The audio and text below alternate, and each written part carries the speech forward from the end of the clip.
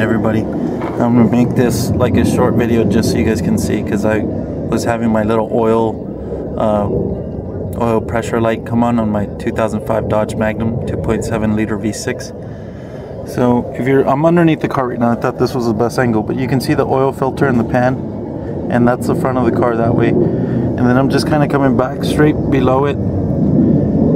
You see the, the chassis, the frame there. I saw a video and it was really helpful, but I thought maybe this video might be a little more clear. I'm gonna zoom in. There's that green connector. It's got one prong in there, and uh, it's greasy. So I cleaned it up just so you could see because I couldn't see it in the other video. And that's the oil pressure switch, oil pressure sensor, whatever you want to call it. And uh, I took that out.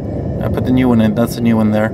I got it at AutoZone for just under 15 bucks for the lifetime warranty. And then. Uh, I'm gonna clean that up real good. I think I never really noticed like any leaking or anything on like concrete or cement, but you can see it was kind of dirtying up the pan and everything. So um, I'm thinking that was the problem we're gonna see because it's just like a dummy light switch that comes on. So again, that green little thing, there's a little red fastener. Just be very careful because it's hot and they're brittle, you know, so do this like on a cold engine. Just slide that off and then just be gentle, wiggle that one green thing off take out the old sensor, clean it up. I'm going to clean this with some Q-tips so it's got a nice dry contact and then we'll see how it works. So hopefully that solves some problems.